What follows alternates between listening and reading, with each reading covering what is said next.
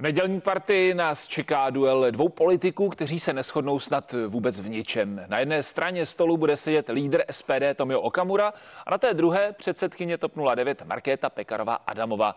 Podívejme se, jak si oba subjekty vedou v průzkumu. Podrobnosti teď přidá kolega Zbigněk Zikmund. Volby by v únoru podle průzkumu společnosti Median vyhrálo opoziční hnutí ANO, získalo by 31%. Nás teď ale zajímají hlavně výsledky TOP 09 a SPD. Obě strany by se do poslanecké sněmovny dostaly, ale je tu jeden rozdíl. Vládní TOP 09 by potřebnou 5% hranici eh, překročila jen o půl procenta, eh, čili by získala 5,5%, zatímco opoziční SPD má podle toho průzkumu 9,5%. Čili zatímco jedna strana se tak nachází v ohrožení, že se do sněmovny vůbec nemusí dostat, ta druhá by mohla být zajímavým koaličním partnerem. Jaké místo mají v naší politice předseda SPD Tomio Okamura a šéfka TOP 09 Markéta Pekarová Adamová? Na to se budu ptát odborníka na politický marketing Petrose Michopulose a šéf redaktora webu Deník To Marka Stoniše. Pánové, dobrý den vám oběma. Dobrý den, celý den. Tak pana Stoniše se nám zatím nepodařilo skontaktovat a už ho vidím v obraze. Pane Stoniši, slyšíme se, dobrý den i vám. Dobrý den, dobrý den. Mi vypadl počítač, omlouvám se. Nic se neděje, tak hlavně, že se nám eh, spojení podařilo navázat. Pane Michoplusi, zatímco TOP 09 se pohybuje na hranici vstupu do sněmovny, SPD má stabilních 10%. Eh, co dělá Tomio Okamura lépe než Markéta Pekarová Adámová? Dáli se to tak říct? Samozřejmě oba dva cílí na jiné voliče.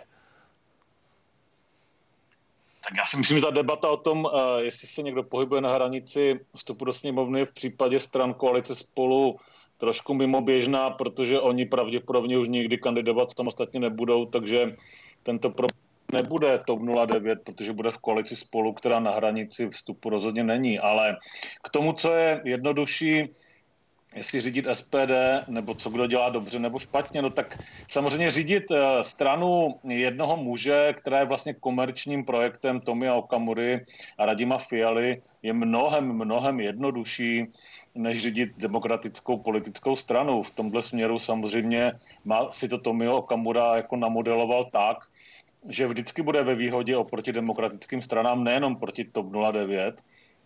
Uh, eh, on je zaměřený samozřejmě, jak jste říkali, na jiný typ voličů. Uh, on velmi dobře umí uh, tu populistickou hru s těmi voliči hrát.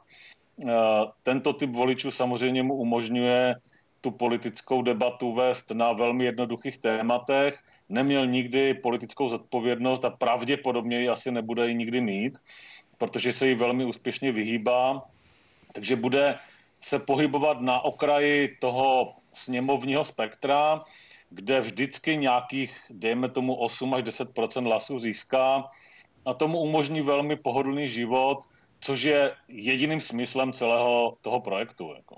Hmm. Kdežto, kdežto samozřejmě Marketa Pekarová řídí jako klasickou demokratickou liberální městskou stranu, eh, což není tak jednoduché, která má normální vnitřní život politický, probíhají tam volby, eh, jsou tam ambice jednotlivých lidí v té straně a to je samozřejmě vždycky mnohem těžší a vyvolává to konflikty a udržet eh, v takových subjektech přizeň, přizeň voličů je vždycky složitější. Hmm. Pane Stoniši, pan Michopoulos tady zmínil tu poměrně podstatnou věc, o které se ale až tak moc možná nemluví, eh, že možná ty průzkumy o tom, kde jsou eh, jednotlivé strany koalice spolu stále děleny a každému se tam měří eh, ten jeho sloupeček zvlášť.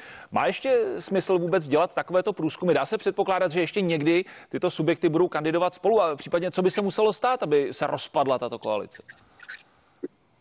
No, aby se rozpadla tato koalice, museli by, eh, muselo by hnutí, teda koalice spolu by musela dostat, eh, dostat v úzovkách nařezáno v eh, nějakých volbách nejbližších asi do Europarlamentu. Já, já si myslím, nebo já souhlasím s Petrosem v tom, že v tom, že Markéta Pekarová a Domová TOP 09 v nejbližší době asi kandidovat samostatně nebudou, protože, nech, protože ty, ty průzkumy mluví jasně. Oni mají jedinou šanci jedinou šanci se dostat do, do sněmovny nebo uspět v jakýchkoliv volbách jenom v rámci koalice spolu. Jako značka TOP 09 jako taková je, je samostatně ne, nepřeživší, si myslím. To je, to, je, to je evidentní a je to vidět i na tom, jak skládali, jak skládali tu kandidátku do Evropského parlamentu, do voleb do Evropského parlamentu. Tam tam eh, zvítězily zájmy, zájmy koalice spolu nad zájmy jednotlivých stran. Hmm. A kdybyste se měl teď pokusit charakterizovat voliče TOP 09, pokud eh, někdo takový je, kdo skutečně volí koalici spolu výlučně kvůli tomu, že právě jeho součástí je strana TOP 09, kdo to je, kdo teď volí TOP 09?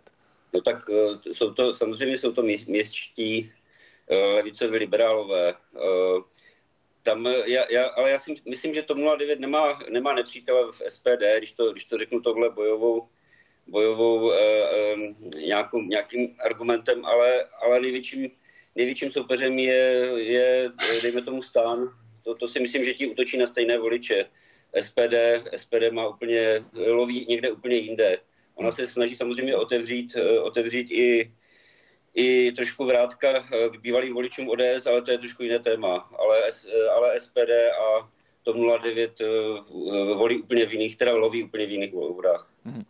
Pane Michoplosi, pro politika je samozřejmě důležitá komunikace, to, jak působí na ven, jak působí na voliče. Pro lidi je Markéta Pekarová Adamová možná místy až trochu chladná. Někteří mluví o tom, že se změnila také s nástupem do funkce předsedkyně poslanecké sněmovny a ona sama to komentuje tím, že ji mrzí, jak působí navenek, že ve skutečnosti je jiná. E, nedaří se jí tedy komunikovat navenek? Tak asi je pozitivní, že jí to mrzí, což je dobrý krok k tomu, aby tu svůj image změnila, pokud cítí, pokud to cítí podobně jako někteří voliči a to je samozřejmě potom práce eh, toho týmu eh, ve vedení nebo kolem vedení TOP 09 nebo kolem Markety Pekarové samotné, aby pokud ona má pocit, že je veřejně vnímaná jinak, než sama sebe vnímá, tak aby tady tu prezentaci změnila a ukázala těm voličům uh, tu svoji tvář tak, jak ona ji cítí. To je to je smyslem jako politického marketingu nebo celého toho komunikačního setu eh, kolem politiků a politických stran a buď to děláte dobře a pak vás lidi vnímají stejně, jak se vnímáte vy, anebo tam někde je nějaká disharmonie nebo neporozumění a pak je potřeba udělat nápravu tak, aby se ty, to vnímání sladilo. Jestli se jí to podaří nebo nepodaří, uvidíme. Tak ona je celkem mladá, já přesně nevím, kolik je, 39, takže na to má spoustu času a určitě by svědčilo trošku o svěžení a omladění té komunikace vůči svým voličům, protože určitě má jako e, mnohem mladší voliče než třeba ODS nebo Hnutí Ano. E, její voliči jsou hlavně ve velkých, ve velkých městech. E, jsou to samozřejmě měští nějací liberálové nebo pravicově liberální voliči. Eh, takže s něma musí komunikovat trošku jinak a musí ukázat tu, tva, tu svoji pravou tvář tak, jak ona ji cítí. Hmm. Už nějakou dobu se v kuloárech mluví o tom, že se exminister financí Miroslav Kalousek chystá založit novou stranu. Jeho vztahy eh, s Pekarovou Adamovou nejsou zrovna ideální.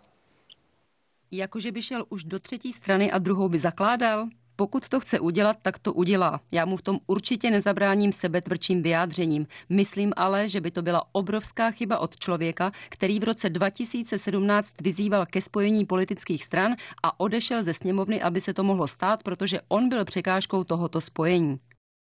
Pane Stoniši, kdyby Miroslav Kalousek skutečně založil novou stranu, byla by to hrozba pro TOP 09, potažmo koalici spolu?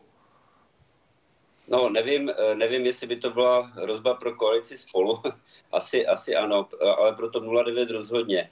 Ale nemyslím si to, co jsem, eh, to, co jsem slyšel a četl eh, v rozhovoru Markety Pekarové Adamové pro vaši televizi, tak nemyslím si, že je to chyba Miroslava Kalouska, ale je to chyba především samotné předsedkyně TOP 09.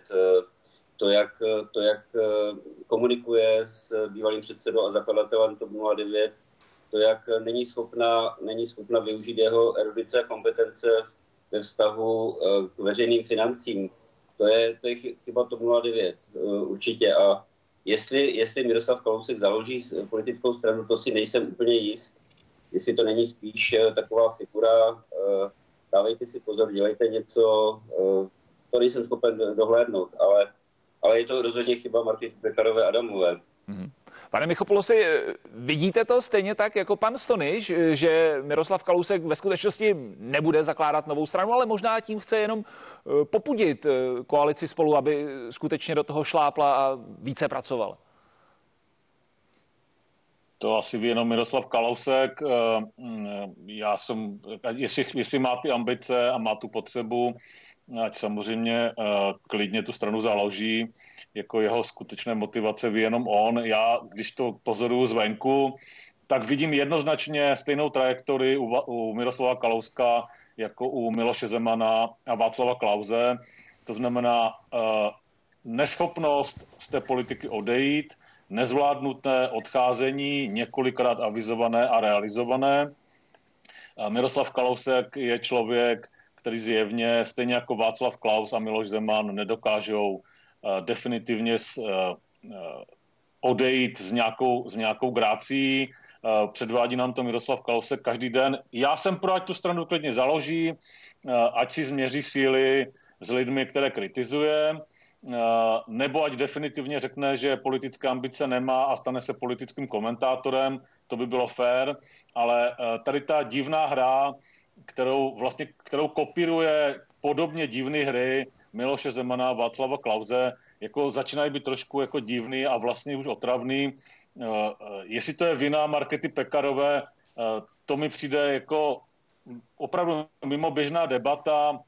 Marketa Bekarová je předsedkyní strany, Miroslav Kalousek není předsedou strany. Jestli se Miroslavu Kalouskovi něco nelíbilo, mohl kandidovat, pokusil se o to do evropských voleb, strana mu řekla výrazné ne, Uh, jestli má nějakou jinou ambici, pořád je člen TOP 09, může se kdykoliv ve vnitrostranickém boji přihlásit do nějakou funkci a změřit si svoji popularitu uvnitř strany.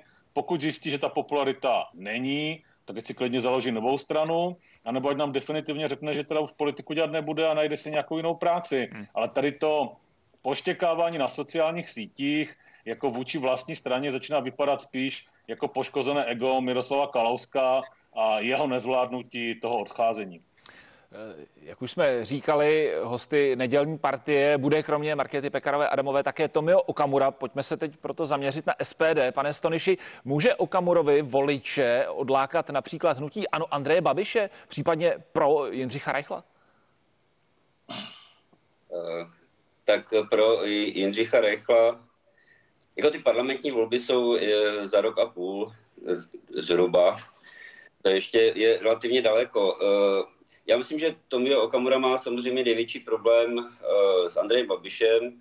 Eh, Andrej Babiš mu neúplně věří a, a naopak.